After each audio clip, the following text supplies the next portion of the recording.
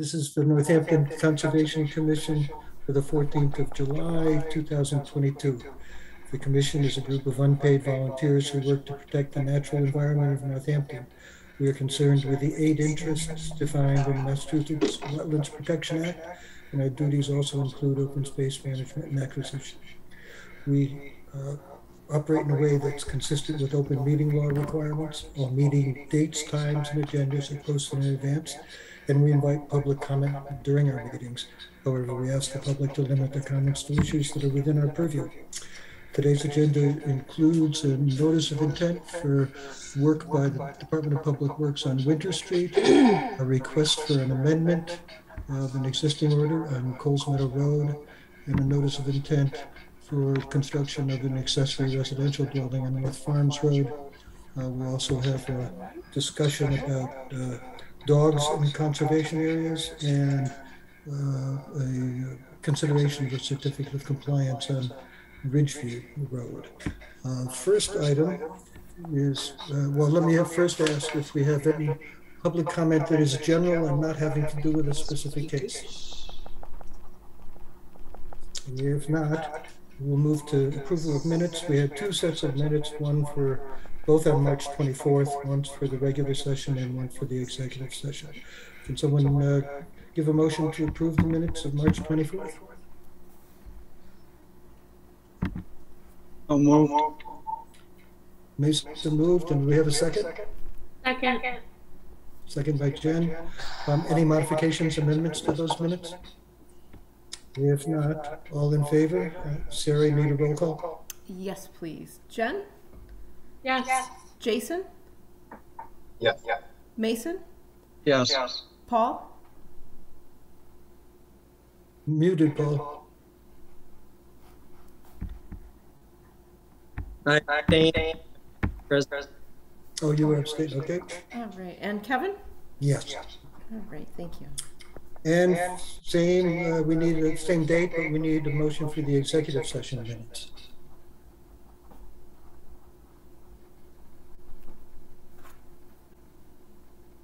Come on, someone. I so move. Jen moved. Is there a second? Second. Jason, We can any echo. amendments? Modifications, discussion? Echoes. Echoes, right, there are echoes. If not, all in favor? All right. Jen? Yes. Jason? Yes. Mason? Yes. Paul? Abstain. And Kevin? Yes. All right. Thank you.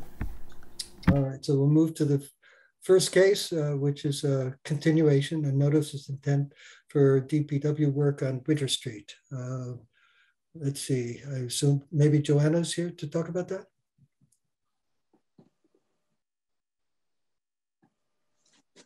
Yes, I'll be, I'll be presenting. Good, please proceed.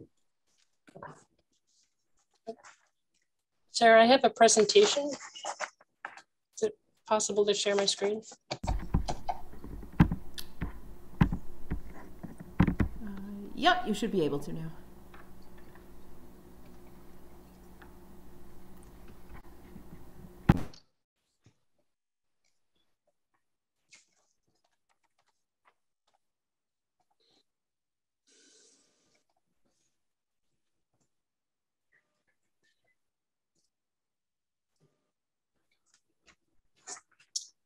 Okay. Can everybody see? Everybody see that slide? Not yet. Okay, No. Okay.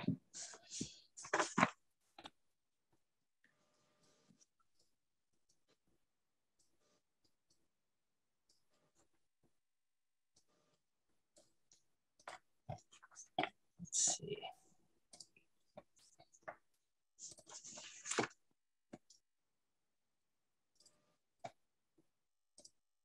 There we go. Okay. Okay. Evening, everyone. So let me start by saying uh, Winter Street is a dead-end road that begins on the east side of Prospect Street and slopes down toward a forested wetland associated with Barrett Brook. The road was accepted and paved to a length of 475 feet. An open, unpaved area, approximately 70 feet long and 33 feet wide, is located beyond the end of the pavement and was never accepted. The DPW recently took an easement over this area. The boundary of a bordering vegetated wetland is located approximately 20 feet from the northeast corner of this easement and a portion of the proposed work falls within the 100 foot wetland buffer. Winter Street is in need of water and sewer line replacements and repaving. In addition, catch basins along the street are connected to the sewer system and must be disconnected to comply with Massachusetts Water Pollution Control Regulations 314 CMR. This project proposes to replace the utility lines within the street right-of-way and repave the roadway within the existing footprint. The project also proposes to disconnect the existing catch basins from the sewer line and allow surface flow to travel overland towards the end of the roadway. The elevation of the existing roadway will be lowered to reduce the slope and slow the velocity of flow. In addition, DPW proposes to construct a packed gravel area adjacent to the end of the pavement to disperse and slow, further slow runoff to less than two feet per second as it leaves the project area and before it reaches the wetland area. This packed gravel area at the end of the roadway will have a three foot border of small riprap, which is designed to help stabilize the gravel. Work for the utility line replacement and repaving is covered under the DPW's general order of conditions. The proposed drainage work and the packed gravel spreader require notice of intent application. This project meets the criteria for a redevelopment project. Resource area falls within the 100 foot buffer of a bordering vegetated wetland associated with Barrett Brook and proposes to alter approximately 650 square feet of this area for construction of the gravel spreader. Some additional surface flow to this area is also proposed as a result of disconnecting the catch basins from the sewer system. To better understand the drainage impacts from disconnecting the catch basins, DPW conducted a HydroCAD analysis for the entire project area. Two catchment areas were delineated. Uh, first catchment area is the area that drains to the two catch basins in the lower part of Winter Street and the second catchment area is the area below that, which drains directly towards the wetland. The upper catchment area is about 67,300 square feet, which includes roadway sidewalks and residential development. The lower catchment area totals 13,500 square feet and also includes roadway sidewalk and residential area. For the purpose of the HydroCAD analysis, it was assumed that the upper two catch basins were functioning as designed, but the lower catch basin um, is not functioning well and flow bypasses this catch basin altogether and just drains directly to the wetland. The HydroCAD analysis looked at a two-year storm event of 3.09 inches and a 10-year storm event of 4.93 inches Analysis of pre-construction conditions indicate that about 2.77 cubic feet per second are captured in the basins during a two-year event and 0.6 cubic feet per second flows off site. During a 10-year storm, three cubic feet are captured and about 3.5 cubic feet per second flow off site. Post-construction, about 3.1 cubic feet per second would flow off site in a two-year storm and 6.3 cubic feet per second would flow off site in a 10-year storm. This translates to an increase of about 2.5 cubic feet per second for a two-year storm and 2.8 cubic feet per second in a 10-year storm. This flow is expected to disperse within the wetland and eventually reach um, Barrett Brook. Um, and so just for some context on these numbers, um, CDM Smith conducted analysis of flow through the culvert that passes under the bike path in 2014. Um, and there, analysis indicated that about the total flow through that culvert during a two-year storm was about 47 cubic feet per second. Um, and the flow from a 10-year storm, which is a little bit less than a 10-year storm is now, was about 114 cubic feet per second. So the additional flow that's being proposed to this area is, is pretty minimal.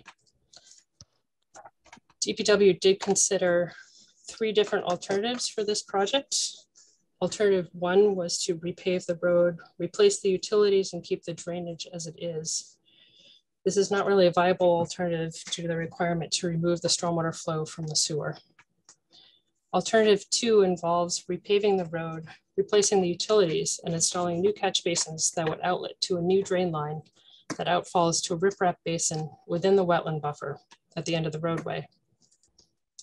This design would involve removing five trees that are located beyond the edge of the pavement. Um, So there's a, there's a wetland impact, wetland buffer impact there. Um, and it's also more challenging to engineer an outfall at that location that would reduce the flow enough so that it doesn't cause erosion into the wetland or near the wetland. Um, for that reason, the not, that option wasn't really pursued. Alternative three is the option that was chosen, um, replacing the utilities, repaving the road, disconnecting the catch basins from the sewer and adding an area of dense grade crushed stone and riprap adjacent to the end of the pavement in order to slow the flow leaving the roadway so that by the time it reaches that, leaves that area, it's about, it's less than two feet per second. Um, This design better disperses runoff to prevent erosion within the wetland buffer area. It allows the flow to travel overland through a vegetated grassy area before reaching the wetland. Um, For this option has the least impact to the resource area, we felt, and most closely meets the stormwater standards. Um, so in terms of the stormwater standards,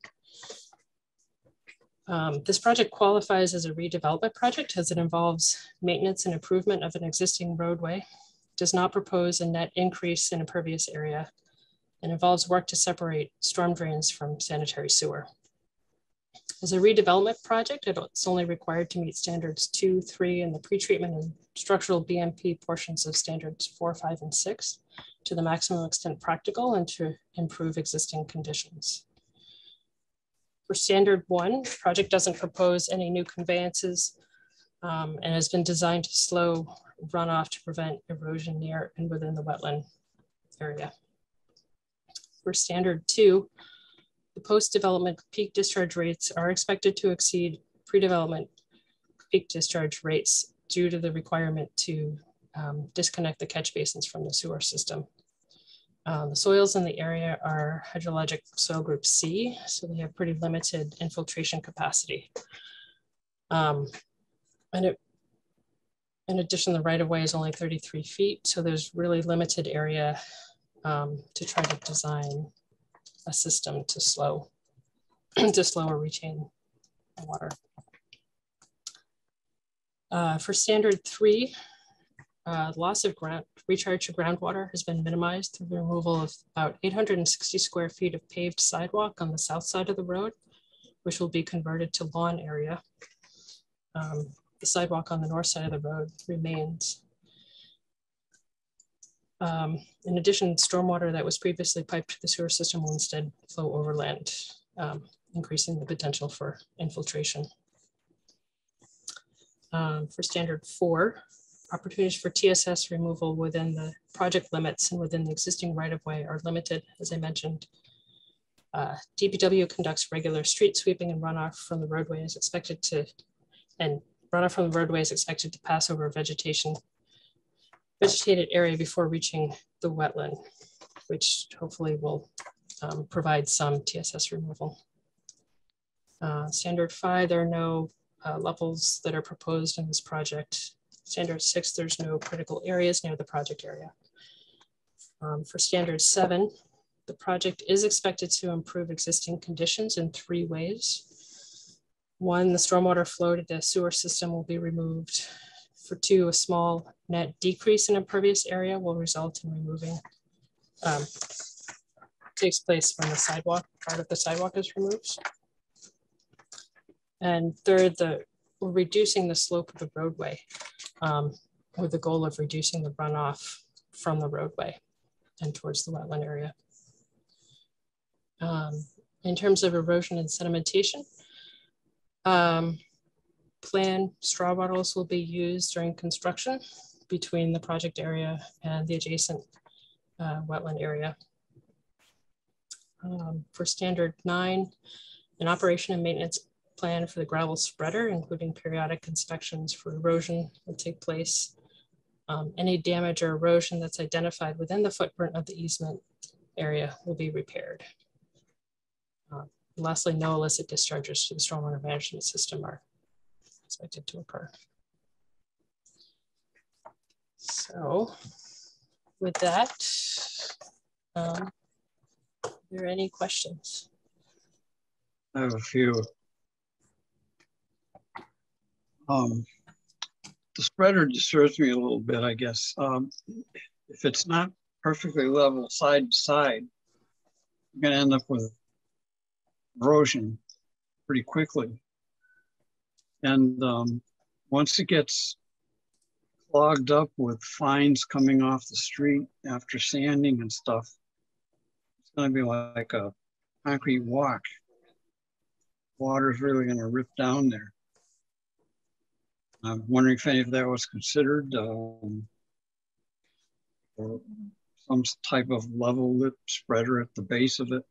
Maybe, I, I don't know, but it, it seems like it will clogged up fast after, especially after the winter season. Yeah, um, I don't know if David wants to chime in here, but the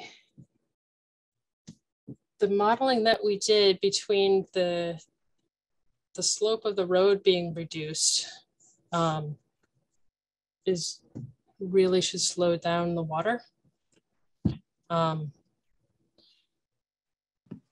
you know, and by the time it reaches that that sort of gravel area and has a chance to spread across the gravel area and sort of off towards towards the northeast corner there. Um, we expect that it will be moving pretty slowly um, and won't won't be a cause for gener uh, erosion. But David, if you I would just add a, a couple of things to that, uh, Johanna. One is that uh, we are um, putting a, a a slight raise in the, uh, in the bituminous at the curb line up at where Winter Street intersects with uh, Prospect Street so that we're making sure that we're maintaining the gutter line on Prospect Street and not uh, getting uh, flows from Prospect Street uh, coming down Winter Street. So that should reduce the, the amount of flows coming down Winter Street. There's also a natural uh, grade at the end of the street that um, is uh, to um, from the south to the south to the north. There's a natural grade that's directed sort of towards the wetland, and we intend to sort of maintain that grade there so that there'll be uh, some cross slope uh, flow from from the uh, right hand side of the roadway uh, off across the spreader. We don't particularly want to put in a level lip spreader for maintenance purposes. Um, the the easement includes uh, snow storage, which has traditionally been uh, placed at the end of the street on this uh, private uh, set private way section of the street. Uh, the city is not actually allowed to plow private ways, uh, but the easement has allowed us to maintain snow storage here so that the, the neighbor's property can still be cleared of, of snow. Um, if we try to put in a, a s- a significant piece of, of, of stone uh, vertically, we're afraid that there's going to be uh, the likelihood that it's going to wash out behind that um, and uh, require uh, additional maintenance above and beyond what would be needed on, on an annual basis after snow season. Uh, so uh, we feel like uh, what we need to do is have an operations and maintenance plan that uh, inspects uh, the condition of this after heavy rain events and uh, certainly in the at the end of the snow season and uh, basically repair as necessary uh, to maintain that that uh, the slopes there for drainage off to the north and to uh, make sure that there's not any erosion occurring and that there's still some enough that the fines haven't created a, a, a compacted surface where you're losing that energy dissipating uh, ability of the spreader that's installed. Is this something new or has this been tried on some other streets in Northampton? Uh, we have done something similar up on uh, North Farms Road with a recent roadway reconstruction up there, and it seems to be holding up well. All I got. You have more questions, Mason? No, that, that was it. Uh, What kind of uh, maintenance, uh, operation and maintenance plan might uh, prevent the accumulation of the fine particulates from sanding and so forth, so that as Mason describes, you, you, you fill in all those gaps and you don't get a lot of infiltration? Well, it may mean uh, taking a section of it out. You might need to take uh, six or eight inches of material it out and replace it with new if uh, if it becomes uh, becomes clogged with sand. Thank you. Other questions from commissioners? I just had Um, one quick oh. question. Um, I Just- may have Go ahead, missed it Jason. Hannah's presentation, but are, are the soil conditions in the area, would they exclude like a leaching basin being a viable option? The Basins? I, yeah, they're um, hydrologic soil group C, they're Belgrade silt loams. Um, so they don't really have much infiltration capacity. Okay, thank you. Yeah. And Jen, you had a question? Just a question about, I, I can't remember if you said this, but what grade of gravel would you be using? Like what size gravel? So the um, the gravel spreader area is a four inch minus, Mhm. and then there's a three foot wide sort of border of small riprap um, around that on three sides.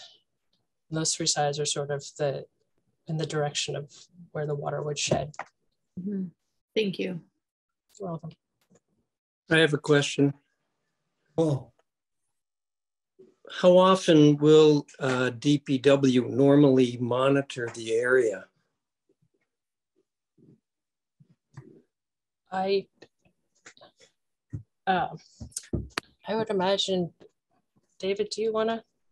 Yeah, I think, uh, you know, after significant storm events, if we have uh, significant downpour, I mean, we can certainly go and take a look just to make sure that there hasn't uh, been any erosion uh, as a result of the storm. And obviously, if there has, then we need to address that. Um, and as I said, also, uh, you know, if uh, uh, certainly in the spring after the winter season, winter plowing season, that would be uh, a time that we would review that as well. Do you rely on the street sweeper to give reliable reports to DPW? Uh, we rely on the uh, sewer and drain division. We have, you know, certain trouble areas that we ask them to monitor on an ongoing basis. And uh, we, we try to reduce the number of those by creating fixes uh, so that we don't uh, just keep adding to the list. But uh, we would certainly add this location to the list as one to be monitored. Okay, that's all I have. Any other questions from commissioners?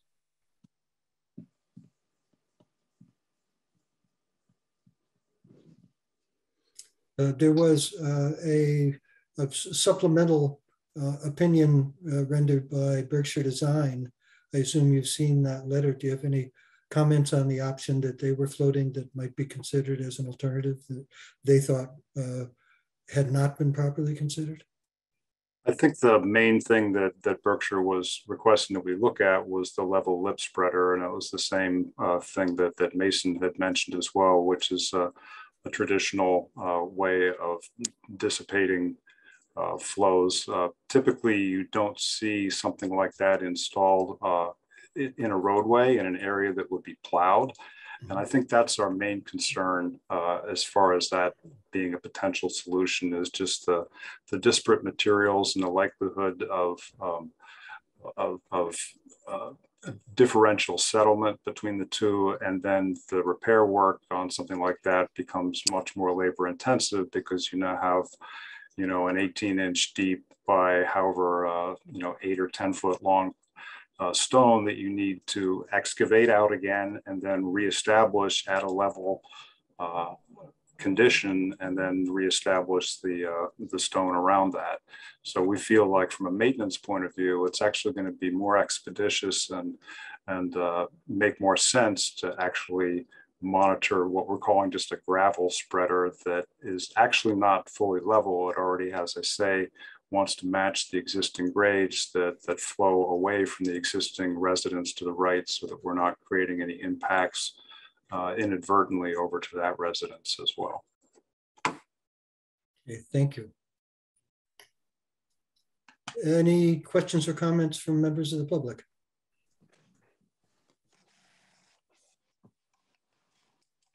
If not, uh, someone want to make a motion to close the hearing?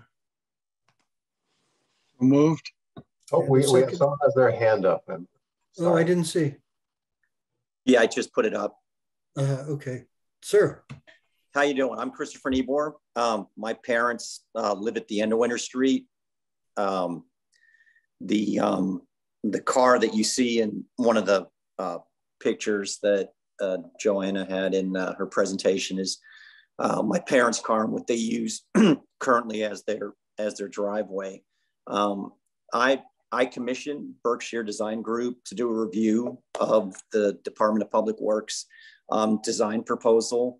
Um, I'm, I'm assuming everybody in the, the commission read it or saw it. Um, Mhm. um, the uh, the um, one of the statements um, that the engineer Berkshire Design Group made to me um, was that if uh, myself as an engineer, if I was to submit this proposal um, as an individual, it wouldn't get approved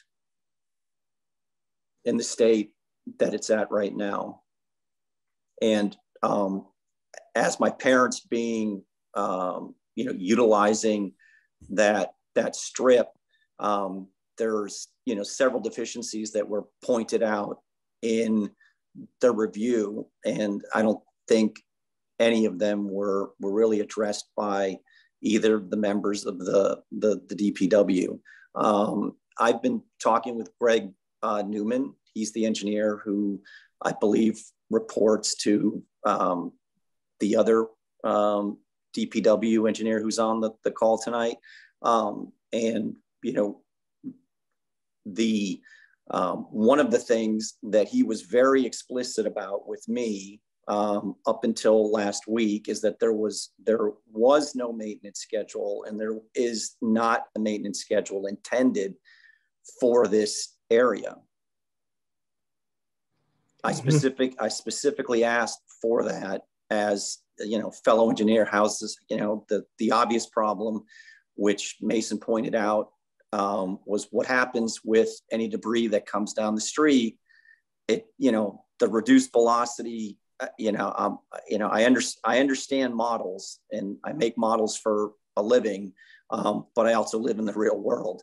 Um, and the most obvious problem is that thing is not going to become functional after a very short period of time, nor is it um, uh, designed such that, um, you know, two octogenarians, one to be 90 the following year, are going to be able to walk on.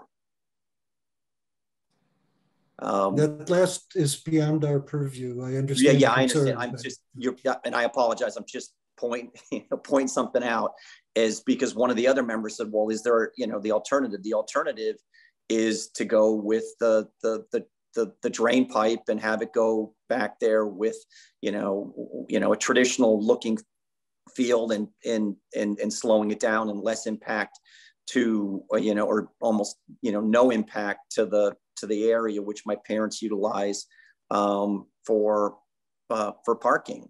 Um,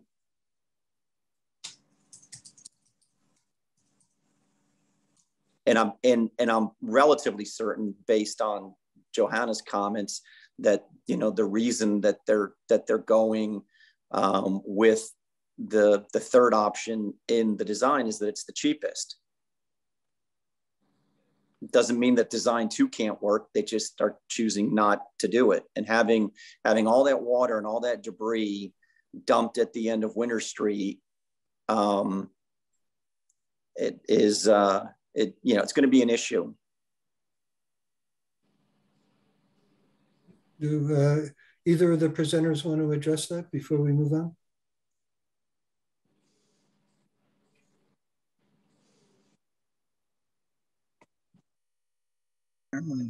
I think that, oh, Go ahead, Dave. as I recall, uh, reading the letter from Berkshire Design, so uh, I don't see anything in the letter um, specifically that expresses what Mr. Niebuhr expressed Berkshire said to them. So I'm taking that uh, on faith, if you will. Uh, but it was not addressed to us that it wouldn't be approved uh, if it were submitted by an individual. And uh, number five of Berkshire Design is that they would suggest the alternative of putting in a level lip spreader.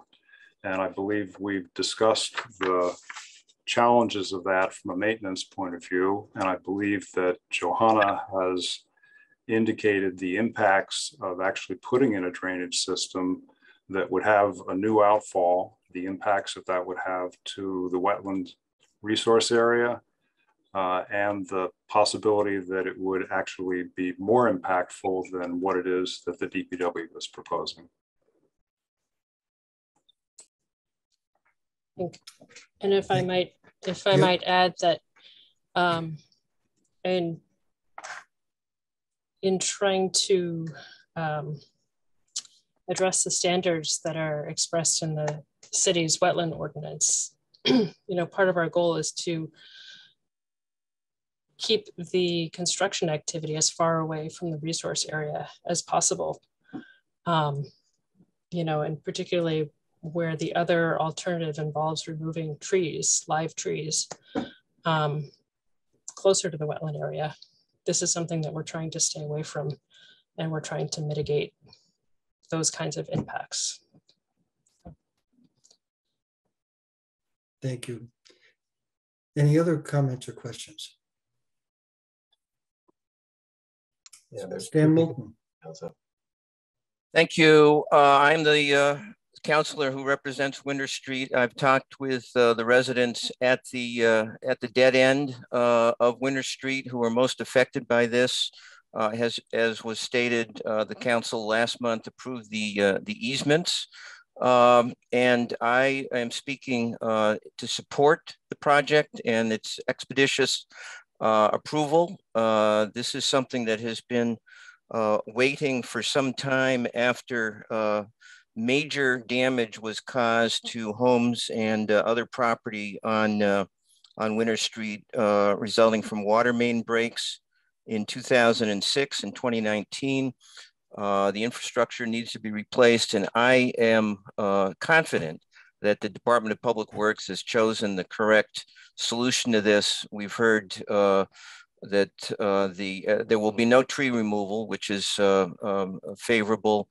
The, the water flow will be slowed, and we've heard that there will be um, regular monitoring after storms to ensure that it's properly maintained. So I, I urge approval of this. Thank you. Thank you. And there was another, uh, Catherine. Yes, I'd like to support uh, Stan's position. I'm Catherine Basham. I'm uh, one of the residents at the end of Winter Street. I abut the area that's uh, being considered. And I wanted to just reiterate that um, I have been in contact with a number of the residents, and the majority of the residents on the street are fully in support of moving forward with the plan. And there was that unanimous support from the council to move forward. Um, I suffered the most damage on the street, certainly in this last um, uh, flood in 2019, $40,000 worth of damages to my home, my land. Only half of it was covered. And in 2006, I had uh, less damage, but also considerable. So we, I and others on the block at this point, the majority of the residents on the block fully support moving forward with the understanding that we're being as cautious as possible with consideration of the issues around conservation. Um, so I will stop there. Thank you. Thank you.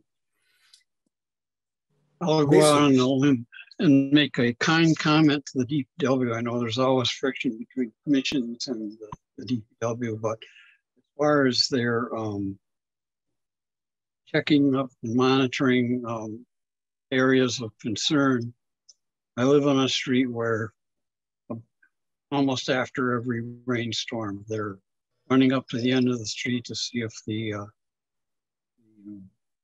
drain's been clogged. It's up swamp there. Um, so they're, uh, if, I, you know, I, they never used to do that, and then just recently some problems. So they're they're they're very uh, fastidious in getting up and checking on old areas in the, in the city. And- No and doubt that they'll add this to their list and do the same thing. Uh, and I'll just add that Mason says that it's, and I guess 14 years on Conservation Commission, I've come to rely on Mason as the stormwater expert that, uh, among the commissioners. So he's he used to do that stuff for a living, and um, I uh, I tend to to have a lot of respect for his judgment about these things. Is there a motion to close the hearing? Move. And a second. Second, All in favor, need a uh, roll call to go uh, in, uh, out of hearing and into discussion, Sarah? Uh, we do. Jen? Yes. Jason? Yes. Uh, Mason? Yes. Paul? yes. And Kevin? Yes. All right, unanimous. Thank you. All right.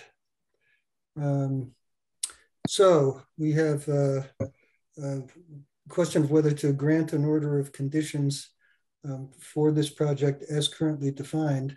Um, My own sense is that I would uh, like to suggest that we approve it um, and that we have a uh, condition, an added condition, uh, that uh, during the um, first year or first some set of time that the commission be informed about the results uh, photographically or in some other way, the results of DPW monitoring of how it's functioning after it's constructed. Hmm. Anybody else have thoughts about, uh, uh, the, in general, whether to approve and uh, if so, what other conditions might be appropriate? Um, Kevin, that is the question of how uh, fastidiously it needs to be monitored.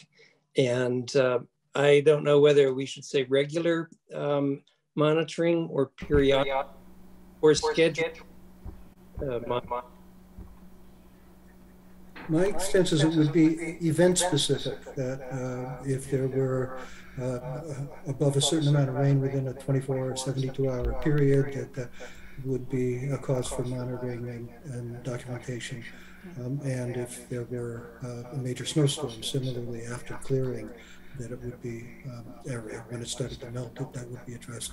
Um, so I don't know, Sarah, if you have additional suggestions? Yeah, I, I might suggest at least during the first year after a, a 10 year storm or greater, and then once at the end of the winter season. How's that sound to everybody? Kevin, I like- I guess, oh, oh, sorry, the echo. My, my thought is I, I completely agree with the project as presented. I think upgrading the utilities is critical. And what was only mentioned once was separating the sewer um, in Johanna's presentation. Again, very, very critical. So I have to say, I was surprised that we still have those connections um, anywhere in the city, but Yeah, So, so I agree with the project and I would be a little cautious about putting a, a, a maintenance or inspection criteria on this personally, because I, I, I, I know the city has numerous problem areas that they just have a list of things they address when they feel like they need to be looked at during various weather conditions. So that's my thought, you know, I, I don't want to require them to do it in an order of conditions. Okay. Other thoughts from commissioners? that's fine with me. Um, how about, uh, Jason, if we do something of a compromise that uh, one calendar year after completion, uh, there be uh, uh, uh, an inspection and documentation, photographic and otherwise, uh, sent to the commission so we can say, hi, how to make it through the first year. I, I like that idea. I think that's great. Yeah, thank you. I don't know how everyone else feels, and I don't want to speak on behalf of everybody. No, I, And- I can do that. Go ahead. I, I like that compromise too. Um, I just wanted to state for the record, I have a lot of empathy for the mobility issue with the gravel, um, which, as Kevin said, is unfortunately it's out of our purview. But I agree with the need for the um, system updates, and I think this sounds like a reasonable and best plan. Any other discussion among commissioners? If not, uh, so far we have a motion to approve uh, that hasn't been officially made yet, but I'll be asking for a motion to approve with standard conditions plus uh, a uh, report to the commission uh, a year following the completion of construction about how the system is still functioning. Hmm. Someone want to make a motion to that effect? Uh, so moved. Jen moves and a second? Second. By Jason. Sarah, um, all in favor? Right. Jen? Yes. yes. Jason? Yes. Yes. Mason? Yes. yes. Paul? Yes. yes. And Kevin? Yes. Yes. All right, unanimous. All right. Very good. And we are now past this time, so we can move directly to uh, a request for an amendment of an existing order on Coles Meadow Road. I don't know who's here to present about that. Hi, this is Jerome Composio. Good evening. Hopefully you can hear me. Yep, we can hear you. Okay. So again, Jerome Composio. Um, my wife, Susan and I are owners of a parcel of land on Coles Meadow Road going back almost 25 years now. I was born and raised in Northampton and been a resident most of my life. Our aspiration with this parcel of land on Coles Meadow Road has always been to build a modest single level home for our retirement years, which we are now joyfully entering into. Uh, a few years back, we submitted a notice of intent regarding the driveway for this home. And in August of 20, 2019, we received an approved order condition on this.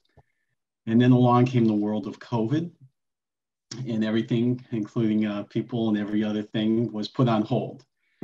So fast forward to just late last year, where we were finally able to get boots on the ground, and it was determined that an earthen fill edge with appropriate stabilization materials would actually be a better design for the driveway plan. And so we submitted an amended notice of intent for your review this evening on the driveway design. It's still proximate along the northern property line as in the prior approved plan, uh, except now it uses earth inside slopes instead of concrete blocks. And just the highlight of that was the earthen design actually disturbs less wetland than if we had used a contract, uh, concrete block design. Uh, with me this evening, I believe, is the professionals who assisted in the design of this driveway, Peter LaBarbera, from Environmental Planning Associates and George Costa of Costa Consulting Engineers. So at this time, I, I, will turn it over to them to share some further details on this modification to the driveway design. And I, I probably would say let's let's start with George Costa, the engineer, if he's available. Hi, yeah, good afternoon or good evening. I'm George Costa, and I worked on this project with uh, Peter LaBarbera to uh, evaluate the uh, potential for erosion. I think that was a concern that the Conservation Commission had. Mm-hmm. And um, erosion occurring along the uh, the roadbed. We have uh, a gravel proposed gravel road surface, uh, driveway surface, with the side slopes constructed with uh, a crushed stone material. And uh, I looked at the the uh, proposed driveway, the material that we're proposing to use, and the proposed slopes, side slopes, and the roadbed. Went through the analysis and and after looking at it a couple of different ways, we were able to conclude that erosion is not will not occur for for these storm events that we looked at. We modeled the 10-year storms, which is standard for erosion uh, control, and um, our velocities that we would generate as a result of sheet runoff are less than uh, the velocity that would be required to cause erosion. The uh, the roadbed is made out, when I say roadbed, I'm really referring to a driveway surface. The driveway surface consists of a crushed stone material. It's bedrock that's crushed into various sized particles, very angular. That's placed on the road surface. That is the surface which the vehicle will drive on. um, that's placed and compacted. Below that is uh, a, graveler, a gravel fill, a granular sand and gravel mix that supports the road surface, and it's the majority of the material used.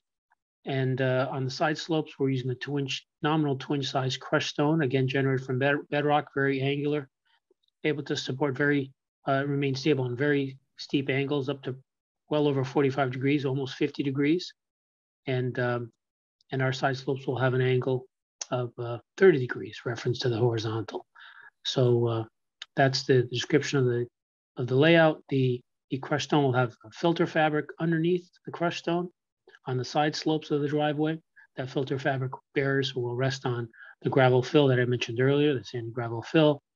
And the upper portion of that fabric will be, um, we'll say, uh, placed between the interface of the lower gravel I just mentioned and the superficial dense graded crushed stone that the vehicles will drive on.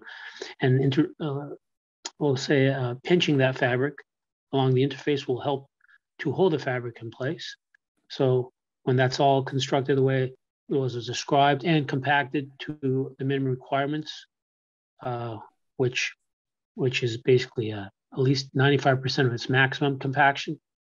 Uh, when all that is accomplished, the, the road surface and the side slopes, driveway surface and the side slopes remain stable for the design events that we considered. Um, I don't know if there are any questions. Questions from commissioners? I was looking for a sequence of construction. Um, I assume we are going to bring the, the um, replicated wetland area to grade first before you take any of the uh, wetland soils out of the proposed driveway area. You can transfer them over there. Um, to yeah, um, the the wetland the wetland replicate. Are you saying the wetland area itself or the wetland replication area? No, the replication area has to be brought to grade before you take the soils out of where you're going to put the driveway. Right, except where we're um to be honest with you, I don't think I really considered the, the sequence. We know that we're we're low. We know that we have to lower the grade in the wetland replication area um, to to accomplish its the the desired hydrology. Um, whether it's done before or after, uh, you know, it's it's. I hadn't really considered it. I don't I don't know if you know we can do it either way. I, none of the construction contractors saw that as a as a particular challenge. So if you'd like to specify that it be done first, we can. Well, yeah, it makes sense. Otherwise, you're stockpiling the muck that you're going to take out of there before you put your, I assume you're going to put a driveway basin. You're not, you're not going to lay it on top of the wetland soils. I assume you're going to take those out of there, and use them over in the replication area. Well, the I mean the the the preparation of the driveway surface, those material we have a significant upland area to the east um, toward where the house would be constructed that would be uh, potential stockpile area. I think that if you try to bring material to the west, you're now confronted, the, the wet, wetland replication area is pretty close to the road. Um, I couldn't quote you an exact number without referencing the plan, but um, it would make more sense because there's more area available to, to any soils that are removed to be brought to the east outside of both the uh, outside of the 100 foot buffer zone and stockpiled there temporarily. Um, and that could include the, the removal of the soils could include the wetland, you know, preparation of the wetland replication area.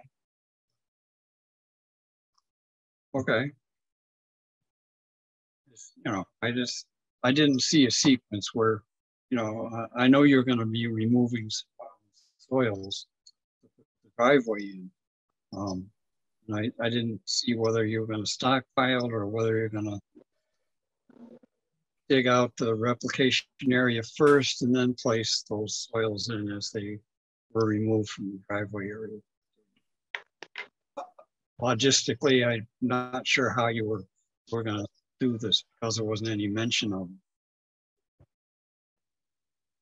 Well, the I mean the the the uh, preparation of the wetland replication area it has two aspects. One is to lower the grade, but two is to the extent that it's necessary to create an, a moderately impermeable uh, vertical barrier, it might actually have to be supplemented in some places um, because the the deposition of the silt clay loam that's in that uh, uh, that area it varies with depth. There are some places where it's a few inches deep. There are other places, you know, 10 feet away where it's, you know, 12 inches deep or 12 inches thick. So, um, uh, you know, the, the probably if, if thinking about it now that you mention it is I would, I would expect that the contractor would, because the wetland replication is near Coles Meadow Road, I would think that it would be better to surgically dress that or redress that area on the way out. So after any potential damage to the replication area that might be done, that would be when you go back and you fine tune the grading of it. Um, so that would be my personal preference that it actually be done after. Um, but to be honest with you, we had not really consulted the contractors to that level of detail on how they would prefer to do it. We, we do require a sequencing plan prior to construction, um, so that's something that we could look at at that time. But generally, our experience is if the wetland replication does not get done first, it doesn't get done at all. Oh, it, it, I think Jerome, Jerome can assure you that it, it will get done. Oh yeah, yeah, that's that's not that's absolutely will be done. That does raise also the, the question of uh, erosion control during construction and what erosion controls might be permanent. I'm sorry, there's an echo. yes, indeed. It does raise the question um, uh, that, you were just addressing with um, Mason about what are going to be the erosion controls both during construction and what erosion controls might be in place permanently. Oh, the the the construction erosion control will be the installation of the silt fence, which would be tucked under um, to be held to so it would hold held stable. It's also going to be staked to mm-hmm. also help stabilization. And then when when the when the grading of the side slopes is completed, that those side slopes and the treatment that George just described will be that's the permanent erosion control mechanism. And so the silt fence would be manually removed when when the side slope is compacted and then dressed with the two inch crushed crushed stone. Then the silt so the silt fence is the last thing to be removed. And, and the, the landscaping material and so forth that that whole uh, part of the process will be in your opinion um, a, a, permanent form, uh, as permanent as things get, of erosion control for what might otherwise mobilize off the surface of the road. Yes, that's that's George's, in my opinion, that the the treatment with the filter fabric, the compacted material, the installation of the filter fabric. I'm speaking vertically from bottom to yeah, top. Yeah. Uh, followed by the compacted material, the fil- followed by the filter fabric, then followed by the two inch crushed stone, um, is then that's your permanent erosion control mechanism. Then, when that is down, when that is in place satisfactorily, then the silt fence is taken out. And this is this is a case where silt fence seems to make more sense than straw wattles. Mm-hmm.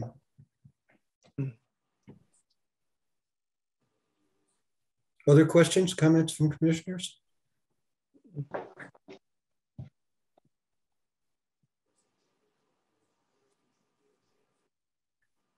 And any comments, questions uh, from members of the public?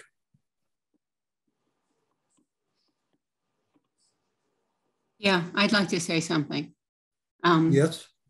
Can you state your name, please? Yeah, my name is Patricia Mangan. I'm on my husband's uh, account. I'm not Leonard.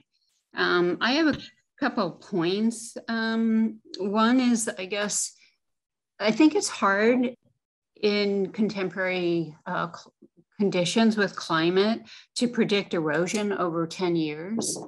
Um, I don't necessarily think that the last 10 years is a good model to base an understanding of what may erode in the next 10 years in view of changing rainfall and flooding, of which we have a fair amount increasingly. My second point is, um, and I'm a neighbor on Coles Meadow, um, is that the wetland is not just on Coles Meadow Road. It extends quite a far, far back, depending seasonally. Again, how much rainfall we've had. Um, and that wetlands, as we all know, tend to change. They creep, they grow, they shrink, depending again on weather. So I think a lot of what your main point is based on is a model and a conjecture, which may or may not actually be the case, depending on unforeseen weather conditions that are to come in the ensuing years. Also, I guess my last point, now that I'm looking at my notes, is that you initially mentioned that your concern was for erosion, but I'd also like to put put in a pitch um, for what it's worth for the flora and the fauna that um, will get impacted by this driveway and by whatever wattle and daub or silt or whatever you're using in terms of salamanders, turtles, and other species that some of which are um, very um, endangered. So that's my response to this driveway. And Jerome, while you said you've lived in Northampton most of your life, I don't, you don't live here now. It, uh, the purpose of comment period is to speak to the commission, not to. Okay, okay, so I made my point. Thank you. Uh, just, this is Jerome. Actually, I do live here. So I currently live in Westfield while I'm waiting for the home to be built in Northampton. Thank you. Well, the driveway has to be Uh, done other- first, and then the house needs to be perm- given a permit. Uh, I will uh, comment that uh, we understand that the world is changing and the rules, uh, the Wetlands Act, the Wetlands Ordinance, the guidelines that we have to work within are based on uh, models and uh, uh, that are historically based, and they will be in all likelihood modified over time, but uh, anticipating, as you said, things that are currently unforeseen um, uh, cannot be uh, something that we base our decisions on. So we, we have a set of rules and laws that we have to operate within. Any other comments or questions, uh, Mason? Yeah, I want to make a comment to that comment. Um, uh, all all culverts that are put in have to meet the Massachusetts culvert uh, criteria that they came up with about 10 years ago. Um, just really to address the wildlife critters back and forth between wetlands. Um, it, it, addresses, you know, the substrate in the pipe itself. Um, and these are going to be very low flow pipes anyway. There's at least two that I can see on the plan there. Um, they're more like equalizers from one side of the wetlands to the other side, the replicated wetlands going to be. Um, so I, I, I think that's been addressed.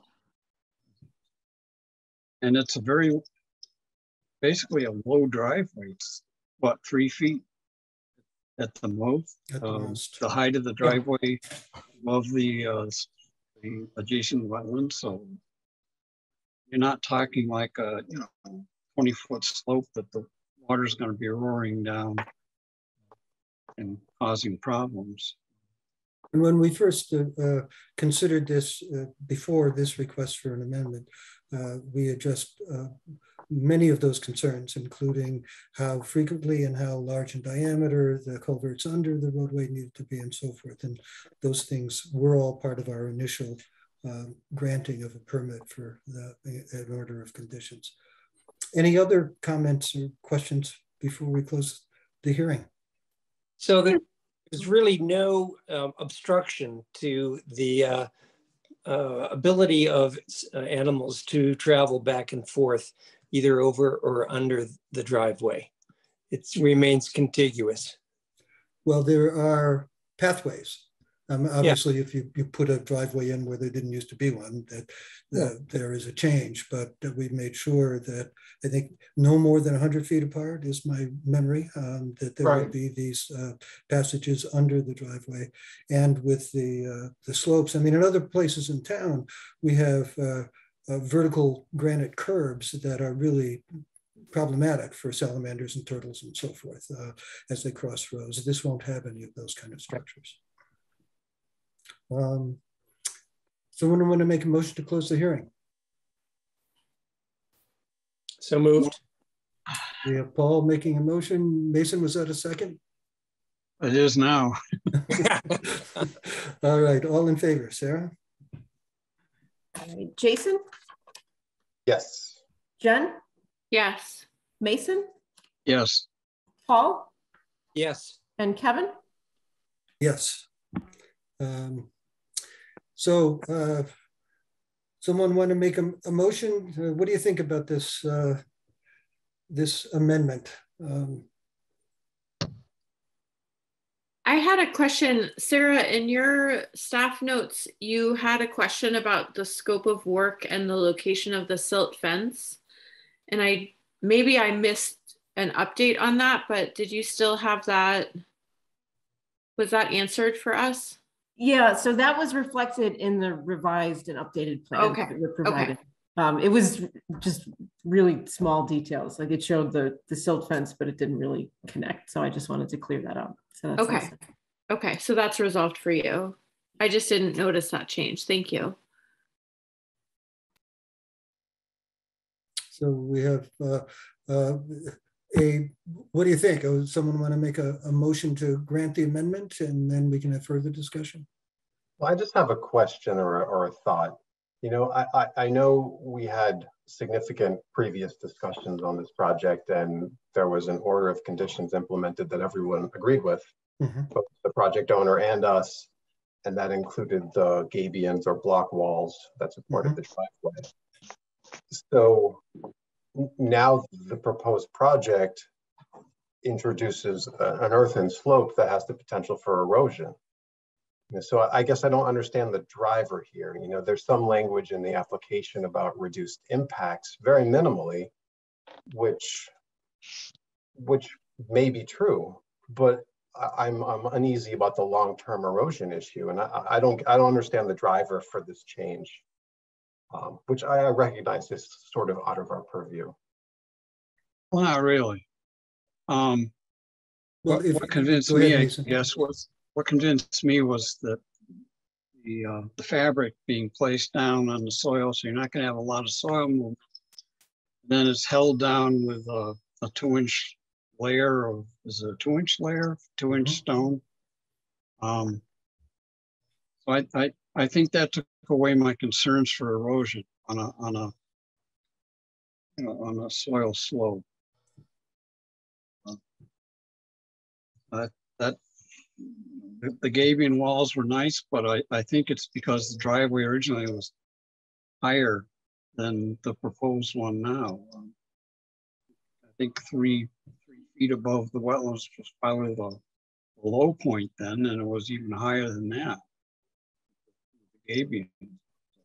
I, I, I don't have any problem as far as, as erosion concerned.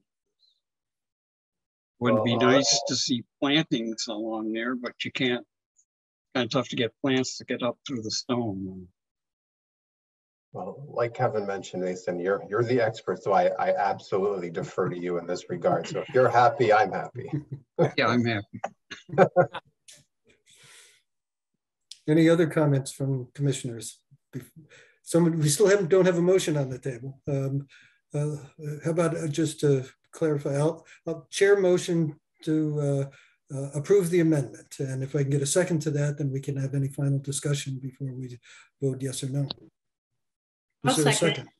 I'll Jen second. second, okay. So um, we have a motion, and now we have an opportunity to have any final discussion before voting. Uh, and there is a settlement agreement that goes along with the order of conditions. Um, and if if it's acceptable to the commission, I can just work with the city solicitor to remove the specific references to the construction of the, the wall.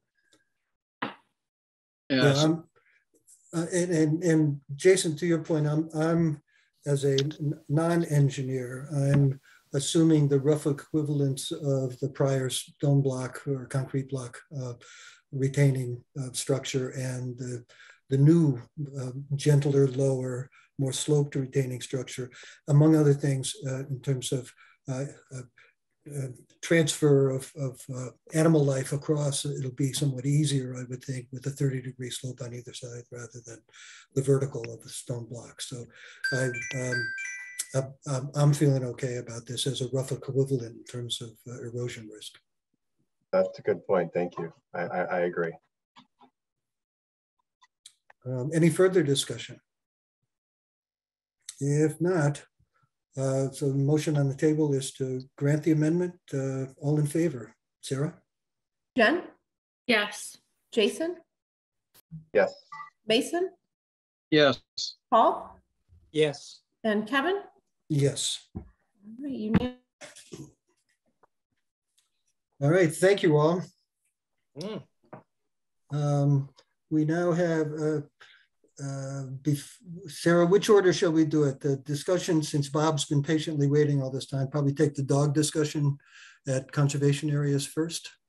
Uh, let's just really quickly continue this hearing until next time. Oh, that's right. We have one more. Yeah. The uh, applicant has asked that the uh, construction of an accessory residential structure on North Farms Road be continued to the next meeting, the 28th of July. Someone Okay. want to make a motion to continue to that time? What time, Sarah? Uh, 5:30.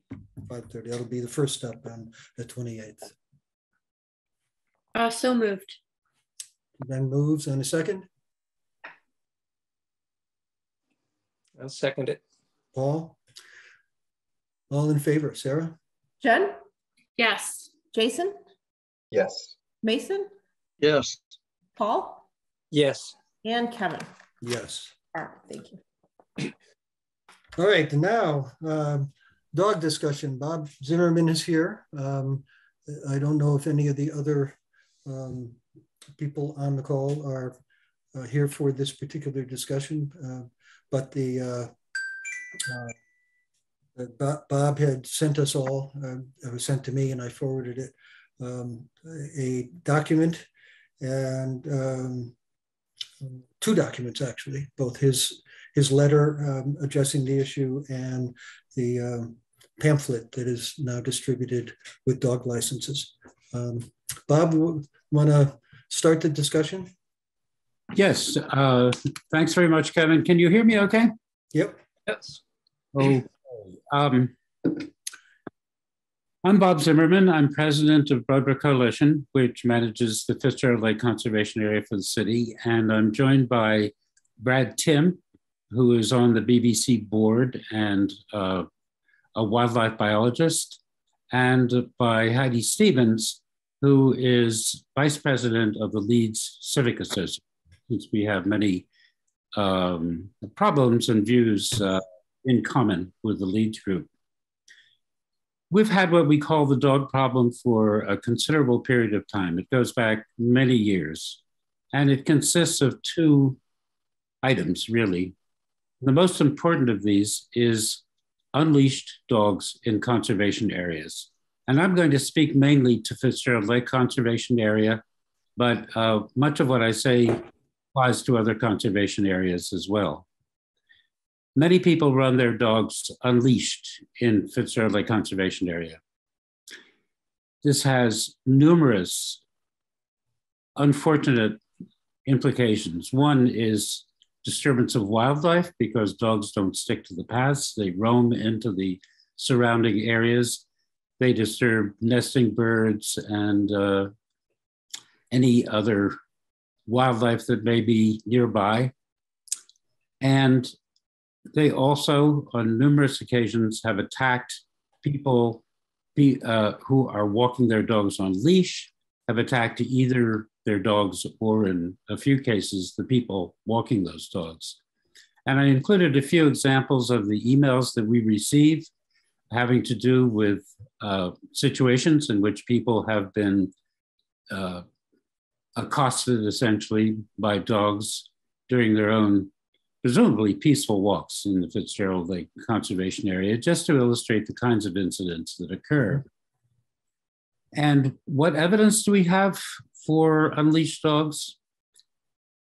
We did a survey at the beginning of May where we uh, had uh, one board member or another from BBC uh, stand on Boggy Meadow Road at the eastern, main eastern entrance to the conservation area, counting the number of people with leash dogs and unleashed dogs. So we actually have a statistics about the size of the problem. It turns out that 63% of the people came with dogs that were unleashed.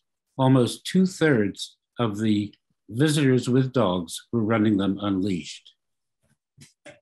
The second part of the problem is uh, significant, but somewhat less, and that is the deposition of dog waste along the trails and in the woods.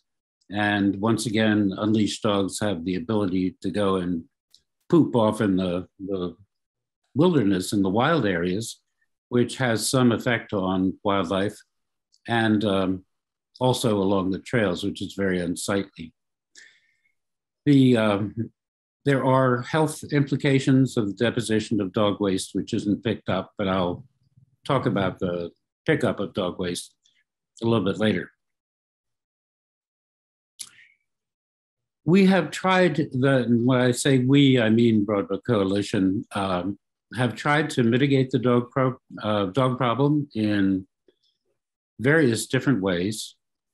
We have had a brochure prepared which is mailed out together with dog license renewals by the city clerk, uh, reaching something like 2,000 people uh, a year, and we've been doing that for two years, which explains why unleashed dogs are a problem in conservation areas. We have uh, spent approximately $800 a year producing the brochure and uh, it's available also at the two main entrances to the conservation area on North Farms Road and uh, what we call the Moose Lodge, the end of Cook Avenue. We've also installed signs at numerous places throughout the conservation area, warning people or telling people uh, to please leash their dogs and pick up dog waste. And um, uh, that seems to have had some effect because we also offer um, waste bags for uh, dog waste free, absolutely free at uh, the major entrances to the conservation area. And we started doing this a number of years ago. And what we found was little bags of dog poop along the trails. People would pick up their waste, but they wouldn't carry it out. So last fall, we installed waste cans uh, once again at the two main entrances to Fitzgerald Lake, uh, adjacent to where the, the bags for dog poop were available. And we found that they're used um, quite consistently. I'm not sure that everybody uses them, but I see much less dog waste left along the trails, either outside a bag or inside a bag. That uh, those Trash cans are emptied weekly by pedal people, and the total cost for the year is uh, slightly more than $1,300. So we're spending over $2,000 in two efforts to get people to uh, obey the city ordinances. And uh, in addition to that, uh, numerous articles have been written both in the BBC newsletter, in the Leeds Civic Association newsletter, and by Kevin in the Gazette recently about the requirement of uh, leashing dogs in conservation areas and why that's important. Now, the problem is that uh, there is absolutely no enforcement of those regulations the city ordinance, there are two city ordinances that apply in this case. One has to do with unleashed dogs in public areas, including conservation areas, carries a $50 fine. Another for leaving dog waste, which is uh, carries a $20 fine. To my knowledge, I have never heard of those regulations being enforced. And I've been associated with Broadbrook Coalition for over 20 years. There is a, an animal control officer in the city, at least one. Uh, it's a new person who I haven't met. Her name is Dawn Ubelacher she works for the police department and not for anything, any entity, any uh, city department that has to do with the maintenance of the conservation areas. And that is a real problem because she works for the police department and not for us. And she apparently has no responsibility for ever visiting, patrolling the conservation areas or ticketing people uh, who uh, do not follow the rules. There are towns in Massachusetts that I'm aware of where the animal control officer does not work under the police department, but um, in Falmouth, for instance, on the Cape, the animal control officer works for the uh, Department of Marine and um, Environmental Affairs. So there are models of towns in Massachusetts where the animal control officer, who has responsibilities for the conservation areas, uh, works under an entity that was specifically responsible for those areas. Now, we believe at Broadbrook Coalition anyway, that we've done about all that we can in terms of informing people about the necessity or the desirability of keeping their dogs leashed and cleaned up in the Fitzgerald Lake Conservation Area. There's very little more that we can do. We have no enforcement uh, capacity whatsoever. And we propose uh, that the Conservation Commission help us out in this area by advocating for two things. The first is an environmental or conservation officer who would be responsible for uh, patrolling conservation areas throughout the city would be empowered to give out fines and tickets for people uh, who are ignoring the rules that the city has set itself. So I want to re re reiterate at this point that I think it's absolutely out of line that the city has ordinances about dog leashing and dog waste pickup, which are not enforced and, to my knowledge, never have been enforced. The second area in which we would appreciate the advocacy of the Conservation Commission is in the area of a dog park. Right now, all of the conservation areas in Northampton are being used as dog parks, essentially, without any regulation. There was an effort to establish a, a private dog park on Glendale Road, which, as far as I know, has really um, uh, is really a dead letter right now. I don't think anything's happening there. I think at one time the city, I, I know the mayor was Mayor Narkewicz was very hopeful that that was uh, going to open and take off some of the pressure on conservation areas. That's not happened, and uh, I seriously doubt at this point that it will happen.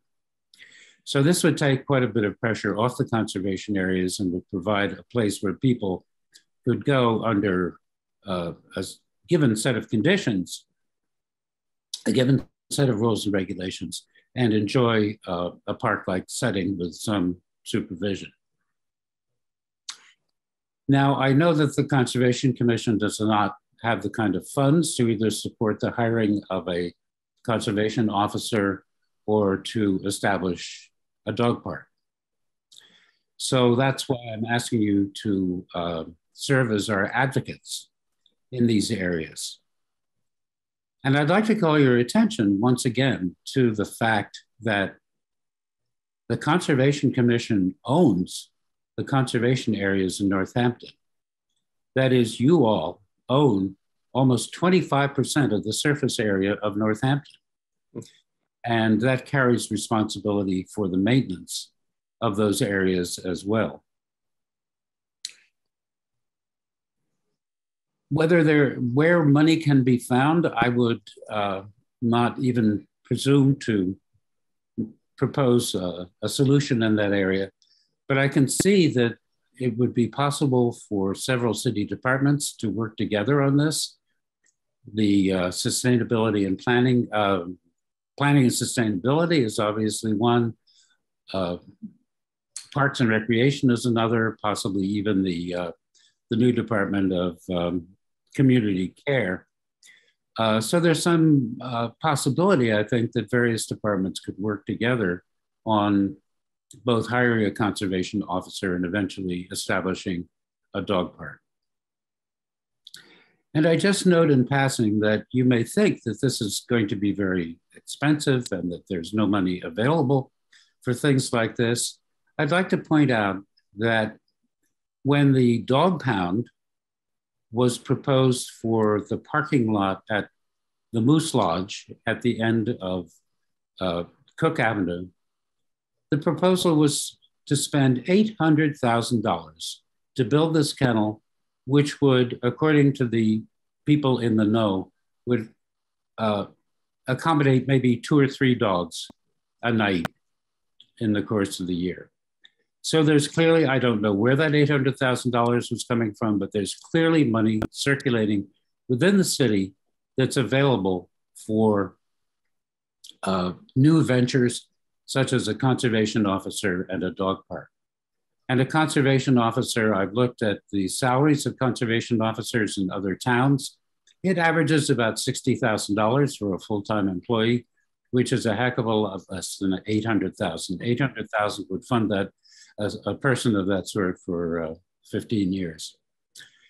So I would like to uh, uh, invite my colleagues, Brad and Heidi, to make any comments they would like to make at this point, and then hopefully uh, hear your response to the requests that we're making tonight. Thank you. Thanks. Sure. Brad, Heidi? Sure, I can go quickly here. Uh, I don't want to eat up too much time, but I'm going to speak. Uh, yeah, so um, I'm Brad Timm. I'm a board member of BBC, have been for about four years now uh, master's in wild and PhD in wildlife conservation from UMass. Um, and yeah, uh, I've observed the off-leash dog problem firsthand over and over again, and um, it really is pretty striking and concerning. Um, you know, there's there are loads of scientific studies out there on the effects of unleashed dogs on native wildlife communities and species. So I'll just I'm not going to go into incredible detail here, but I'll just give you kind of the highlights or lowlights of, of kind of what they've found. You know, first and foremost, direct mortality. Um, anything from birds, reptiles, amphibians, small mammals, um, you name it, you know, dogs go after it. We've all seen it with dogs chasing squirrels. It's just a fight or flight response, you know, they see something running, they go after it. Um, there's been a number of studies that have shown that um, it actually reduces the amount of habitat because wildlife move away from the trails when they're constantly impacted um, by dogs running off into the woods after them. So it actually acts to reduce the amount of habitat that these conservation areas are providing for our native wildlife species. Um, it increases stress hormones, uh, stress relief release across all taxa of wildlife. Number of, of effects of that makes them more prone to disease, uh, thus impacting their survival. Um, reduces reproductive output because of that stress. So they're not reproducing as much. They have smaller clutch sizes. Uh, like birds, you know, often will have a less number of um, eggs per nesting event. Reduce longevity. I mean, the, the amount of stress that you, you release just inherently reduces longevity of animals. Um, and actually found that it it indirectly indirectly impacts their response to humans. So they actually have a greater fright, flight response to humans. Um, you know, so if it's an area that dogs weren't off leash, things like deer and other other mammals may not be as likely to flee when they see the, you know, the humans. But when dogs are an issue, they're more likely to flee. Changes behavioral patterns. Uh, a lot of species become less active during the daytime when dogs are a potential threat to them. So they may shift their activity to nighttime, which has a number of impacts, one of which is more predators may be active at night. So they're exposing themselves to predation. Um, reduced time feeding young uh, birds. This has been documented a number of times. Um, birds will abandon, female birds will abandon their nests, more so in areas that have dog off leash uh, than, than don't have dogs off leash. Um, as, dog, as, as Bob spoke to, um, then we also have the issue with actually directly spreading disease through their fecal material um, or direct interaction with wildlife. So things like rabies, giardia, canine distemper, a whole host. And then water quality impacts, you know, all kinds of viruses, E. coli, hookworms, roundworms, salmonella, um, and the list goes on and on. So, so again, that's, that's just kind of a, a laundry list and, and there's a whole host of primary literature out there that has specifically researched this and found these impacts. So, so from a wildlife perspective, it's, it's incredibly concerning. And I'll go ahead and pass it off to Heidi. Thank you. Um, my name's Heidi Stevens. I just have to make a quick correction for Bob. I'm no longer um, the vice president of Leeds Civic Association. I was for seven years, but now I'm a board member. Um, first of all, I would like to just applaud all of the efforts that um, Broad Coalition and that group has done to protect Fitzgerald Lake. I think it's one of the crown jewels of our conservation areas in Northampton, and people travel to Northampton to go to that area. Um, as far as Leeds civic uh, or Leeds conservation areas, we have Roberts Hill, we have um, conservation Beaver Brook, um, uh, and this new conservation area along the river. Uh, we have the same problems with off dog, off leash dogs. Um, uh, ki uh, several kits of fox were killed recently um, just down the road from me um, by off leash dogs. Um, they scare people. Um, I sent a letter in. I don't know if you got that, Kevin Lake, um, and the commission about what Leeds Civic has been trying to do. We published a letter in, in our monthly newsletter. Um, explaining the ordinances that the city have, the rules and the regulations to try to remind people um, of the rules and encourage them to abide by them. We've had um, uh, dog socials on the public green on the main on uh, the main street green just to uh, bring people together to help people understand what they can do share ideas we had um, our old city councilor, Alisa Klein, helped us uh, get signage up stating the ordinances along the Main Street Green. That's not a conservation area, but we're really successful there because it's a public place. It's very visible. And so people are way more aware. They're, um, pay, they know they're, they're being observed, so they're gonna abide by the rules. In conservation areas, no one's watching them and they know no one's watching them. They know that no one's going to do anything. I have had instances myself where I have had to stand for five minutes begging someone to please put their dog on a leash before they bother to do it. So they know no one's around. No one's gonna gonna stop them. So, and of course the dog bag. So to make a long story short, um, yes, Northampton has a lot of conservation acreage that is a public uh, playground for people to do what they want and um, break rules. Um, I was curious, like what other towns conservation um, commissions do. And so this morning I just did a quick Google search and just looked up you know, conservation areas and enforcement or, or dogs. And I came across um, the first one I saw was Wayland, Mass. And um, they have 1,200 acres. So um, their Conservation Commission's website, Land and Trails page, caught my eye because in big, bold, red letters, um, they had a warning to dog owners. And it read, please note, there have been numerous reports of dog waste not being removed from the conservation area. If this continues, dogs may not be allowed to use the areas. So they're putting out a warning, a public warning to help educate people.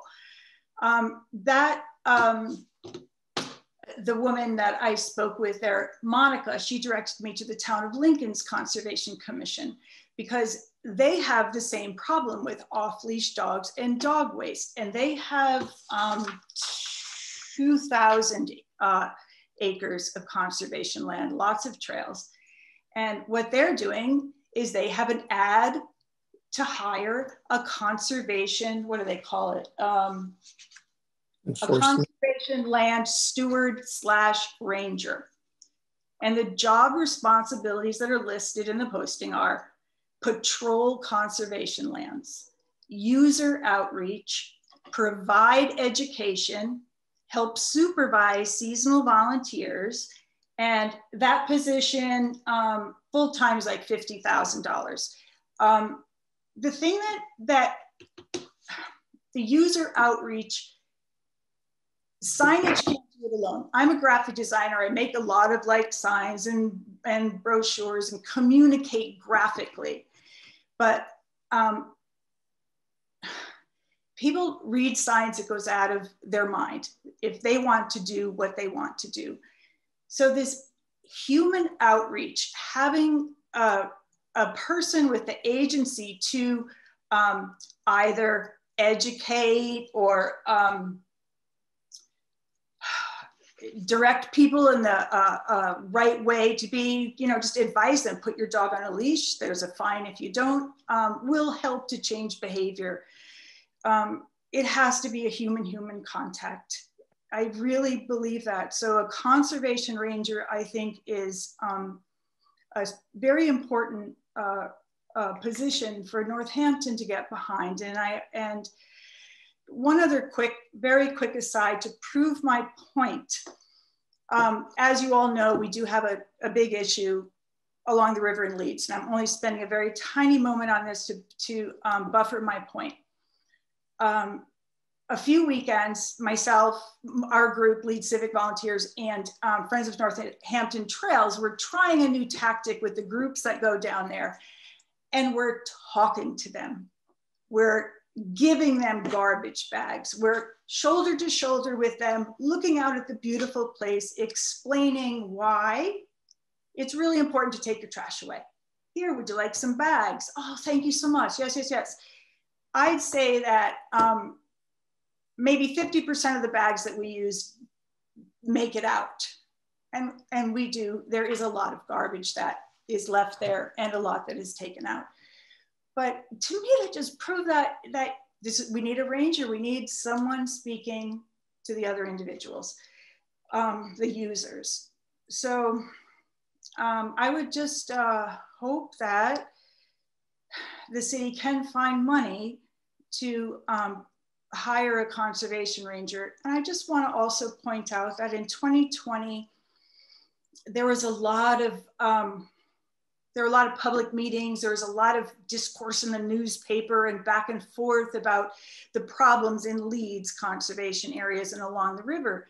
And one thing that the public was behind, it sounded as if the um, Office of Planning and Sustainability was behind, that the mayor was behind, that Leeds Civic was behind, was hiring a conservation ranger to do reach out education to help change people's behavior. I'm convinced that signage won't do it. Yeah. All right, that's that's my bit. Thank you.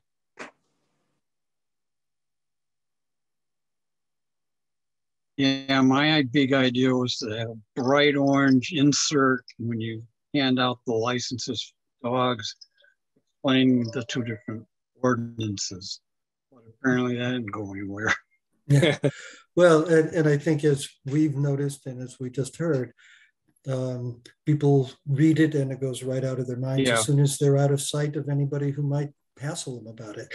And even when they do hassle, as Bob's letter indicates, um, they treat the person who's pointing out the law as if they're the problem. What do you mean telling me what to do with my dog? Um, one thing that I will say, I have just a couple of hours ago this afternoon, I had sent uh, Chief Jody Kasper an email and got a re- saying, hey, uh, is there any way we could get even an hour a month, some way of getting an animal control officer to uh, walk the trails in conservation areas, specifically at Fitzgerald Lake, um, just so we can then honestly put up a sign saying these trails are regularly patrolled um, by the city's animal control officer and fines will be given uh, for breaking the rules about uh, leashes and feces.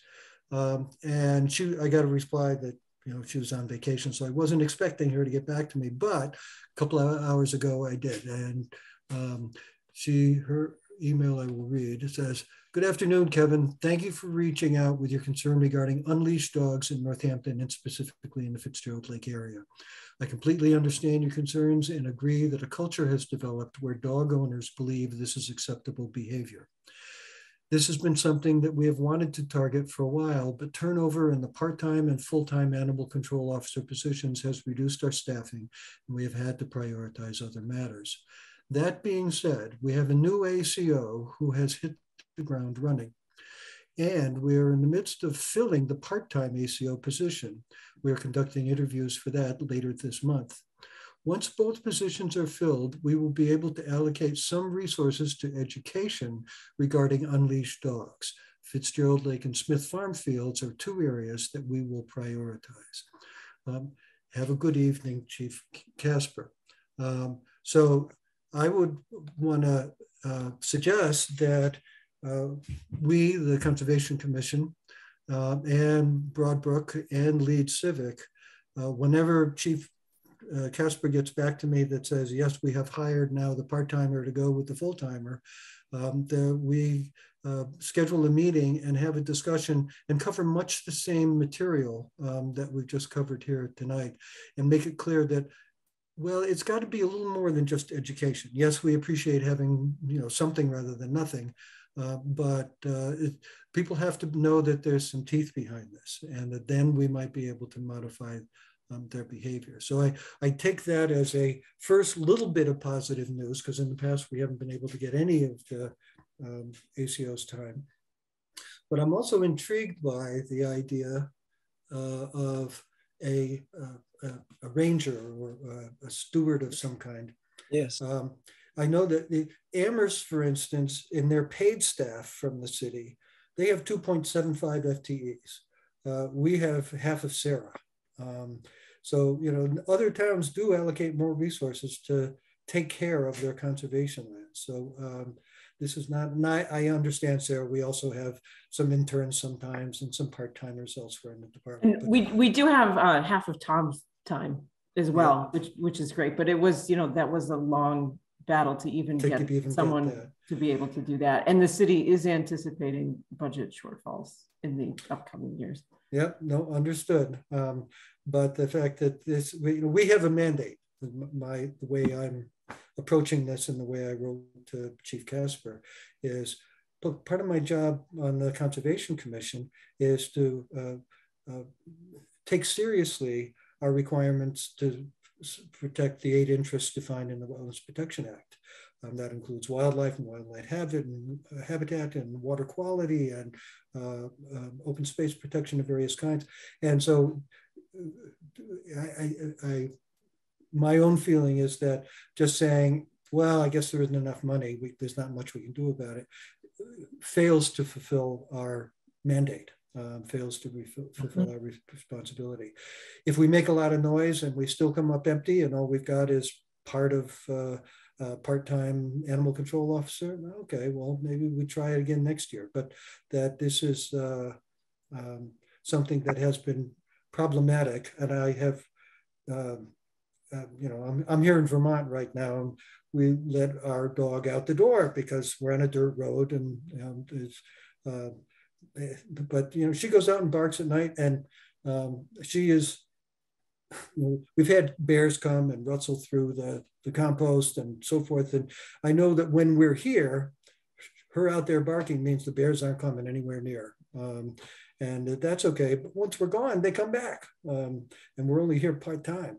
So I recognize the impact that dogs have. And I have had that same dog attacked by other dogs when I'm walking around a leash down along the Mill River. Um, so it is, I understand completely and have personal experience with, yep, I love dogs, great to have dogs, and they are apex predators um, that we are introducing into habitat that um, has a, a, reaction to the presence of apex predators. And you never get that many apex predators in a given acreage um, in any other place if they weren't being introduced by humans. Um, so we have a responsibility both ethically um, and we have a mandate um, by our, our charter as an, uh, a conservation commission. So I'm, I'm happy to figure out ways that we can advocate it would be great if there were a position that was part of, I imagine, a, a colleague to Sarah within planning and sustainability that supported um, as a ranger or steward who supported uh, conservation areas that full time. That would be a wonderful thing. I haven't imagined it to be possible, but when you point out that, well, hey, Lincoln, well, Lincoln's a very rich community, but sure, there are other models that maybe we can try to push. If we don't plant the seed now, it isn't going to be any different five years from now.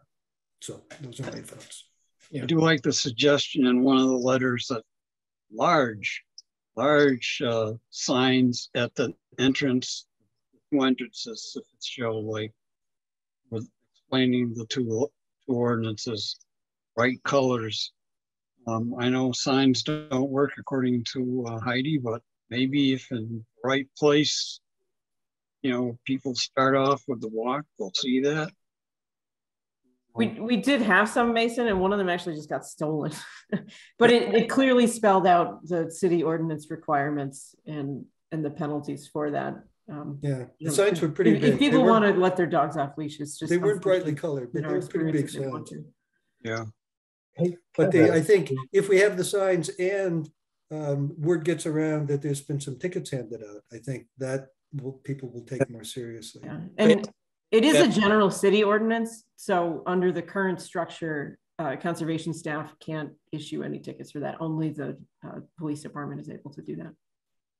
I do think the fines are far too low, and I think it would be much more effective to, uh, try to lobby for an amendment to those regulations so that uh, I mean, if I saw a sign that said $50 fine um, or $20 fine for not picking up waste, uh, I, you know, I would take that seriously. But if I was uh, callous and careless and I saw a sign that said $250 fine for an unleashed dog, I think I would think twice about um, not um, putting hmm. my dog on leash.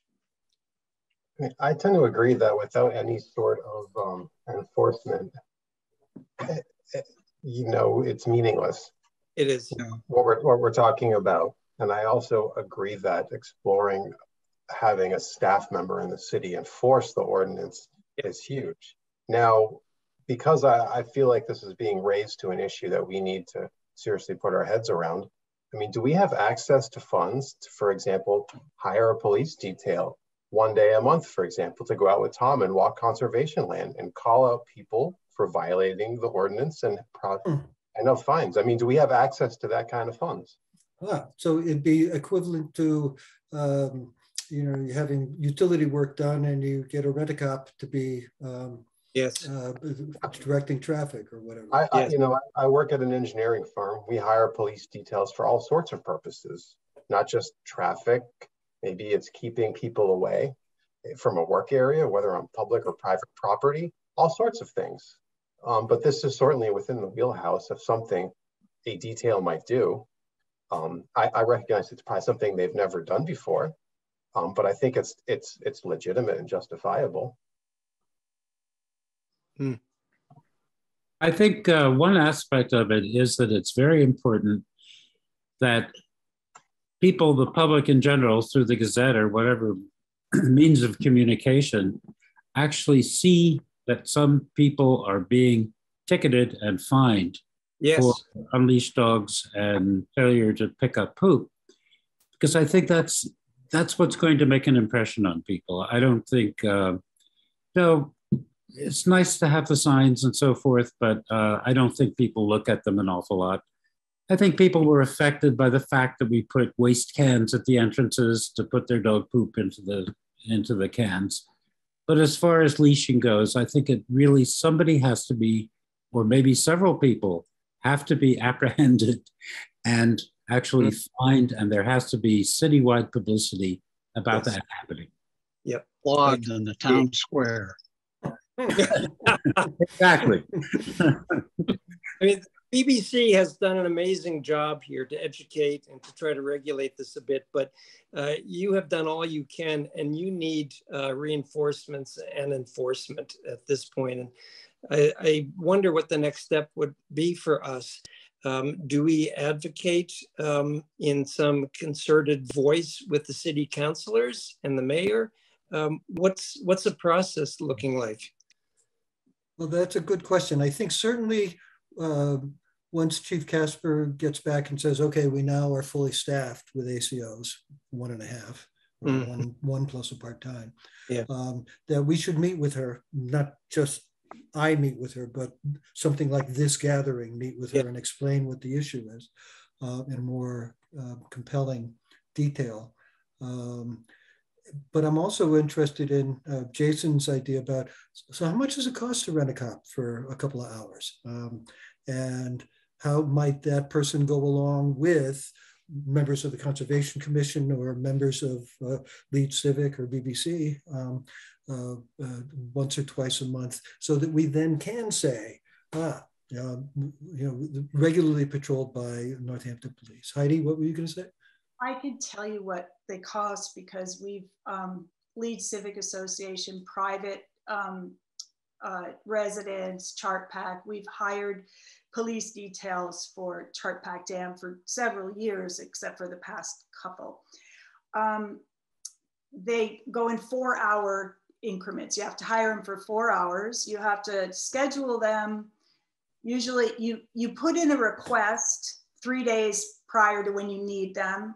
Mm-hmm. Um, it, when we hired him, it was 50 bucks an hour. So it was about 200. It, I know that the price has gone up though. Mhm. So you're probably talking maybe 250, 260 for a four hour period. Yeah. Okay. And do they have their full legal enforcement ability in that utility when they're They do. they can write tickets and do all that? Yes. And they have done, they've cited people at the dam in 2017. Great. No different than enforcing the speed limit.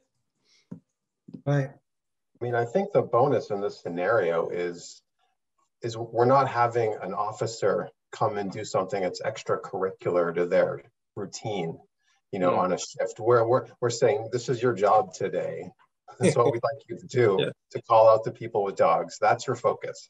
Mhm. Warn them to wear hiking shoes, though. We, we had some police officers, whenever it did survey work, you had to have police officers, either town or state. And uh, in the middle of winter, if you have a police sergeant standing there stuffing newspapers into his shoes because it's wintertime, Oh. you got to dress appropriately. I I have a little bit of hesitation going the strict police officer route that I just want to name in that I understand the problem and I understand what everyone is saying about face-to-face relationship building and enforcement is the most effective solution but one of the goals of conservation land is for people's enjoyment. And i different communities have different relationships with policing.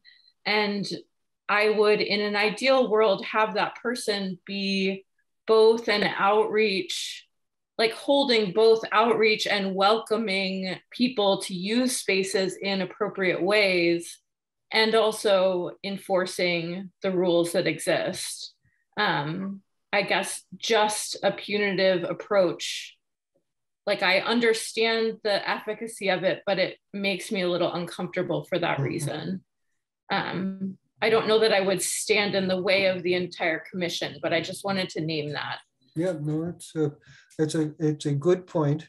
Um, I've been, as the commissioners know, I, I've been willing to say, hey, um, we can uh, prohibit dogs at all um, from a given, given our mandate to protect environment. If people aren't willing to have their dogs on a leash on a reliable basis, so we can say that allowing dogs off leash is inconsistent with our mandate. And so we could prohibit them altogether.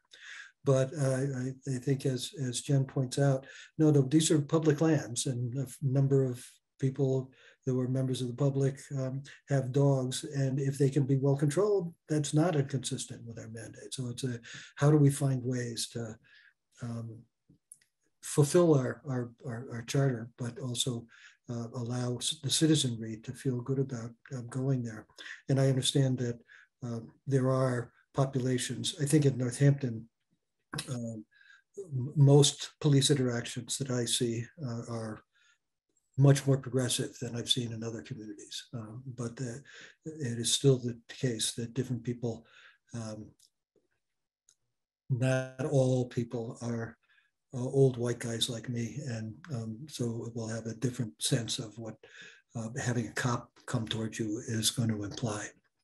Um, and but there's I think, just a really very, like, it's also an economic issue of like a $50 ticket is going to have different economic impact on different people.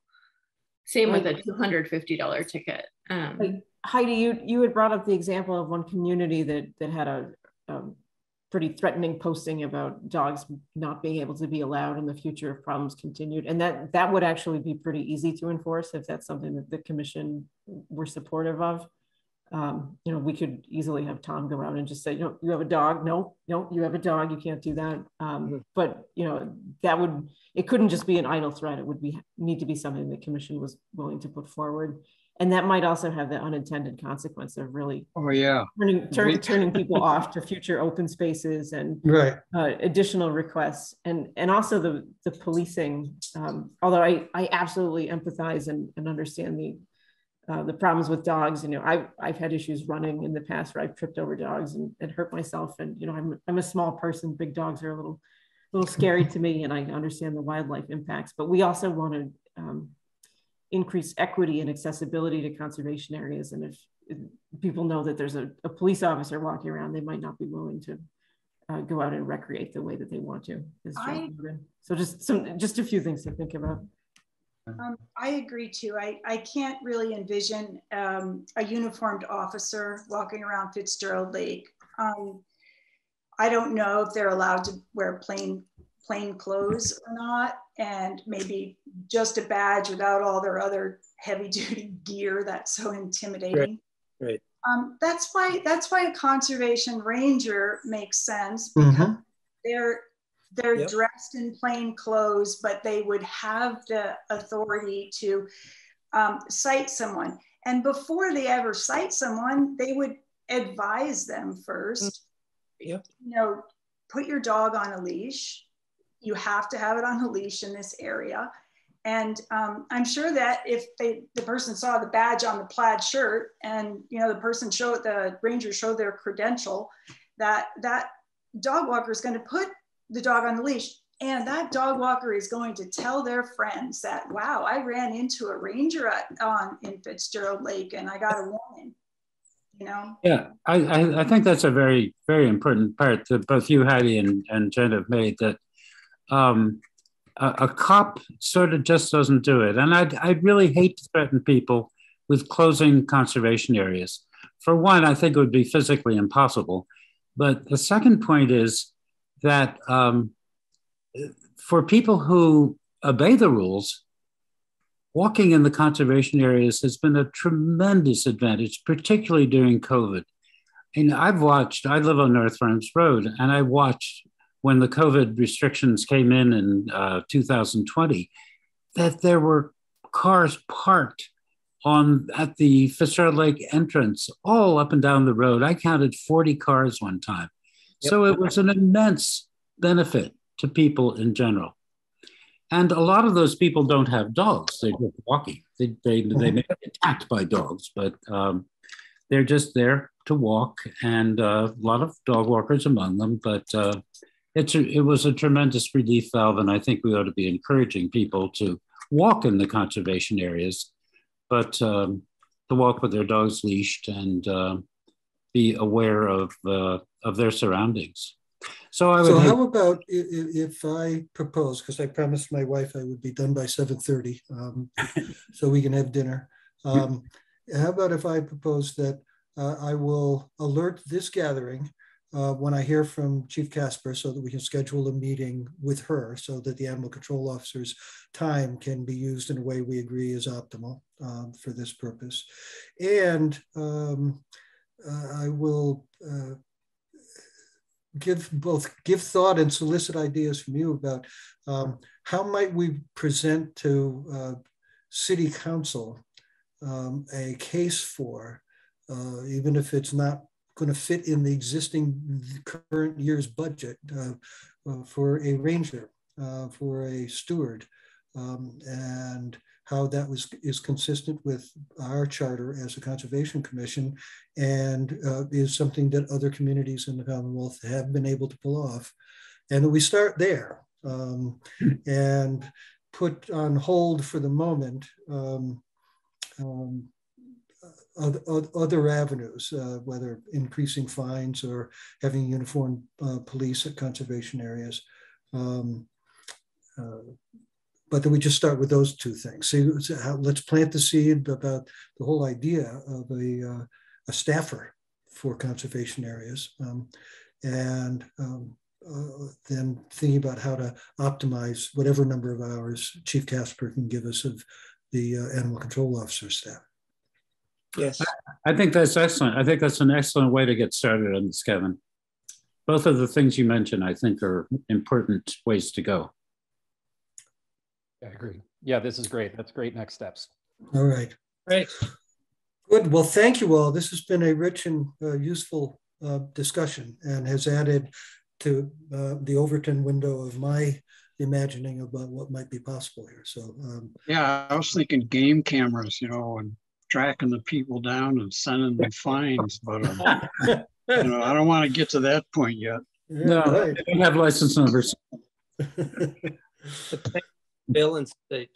Uh, okay, any last thoughts? If not, I'll uh, uh, I'll send a note to everybody when we have a, uh, a time back from the uh, chief um, to schedule that, and I'll I'll try brainstorming with Sarah about how we might put a few paragraphs together, and I'm happy to make a presentation during public comment period to a city council meeting about uh, okay. We're wrestling with these kinds of issues in our conservation areas, and uh, we're looking to them at some point to help us with the resources necessary to do what they have asked us to do, what they and the Commonwealth have asked yep. conservation commissions and conservation areas to do. Excellent. Thank you, Kevin. Great. Thank you all. Thank you all very much. Thanks very much. For listening. Thanks, Sarah. Oh, motion to adjourn so moved. I was so just gonna. And a second. I thought we were going to discuss Pomeroy Meadow Plumpton or other acquisition. Oh, uh, we don't. So Mason, I sent out my presentation that I gave the other night just as a, a fun FYI because I'm excited oh. about the project. Yeah, that's um, not, but, but we not can an item on the agenda, just, just background. Okay. All right. Okay. Thanks, everybody. We don't, we won't Thank call you. a roll call for the motion to adjourn.